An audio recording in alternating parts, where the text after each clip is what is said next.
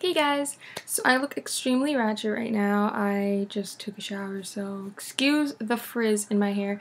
But I wanted to make this video just to tell you guys to leave me some questions for my future Q&A I want to do. I think I want to film it tomorrow. I don't know what I want to do yet, but leave some questions below. I hit 13,000 subscribers this morning so I thought it would be time to do another Q&A.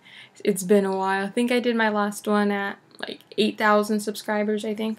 So let me know in the comments below what you want to know. Leave me some wacky questions, leave me some personal questions, anything you guys want to know. Ugh, my hair is so frizzy right now. But let me know anything or ask me anything you want to know. I will answer. That's why I like doing Q&As because when you guys leave me like crazy questions, um, they're fun to answer, I guess. So leave me some below and I will see you guys later.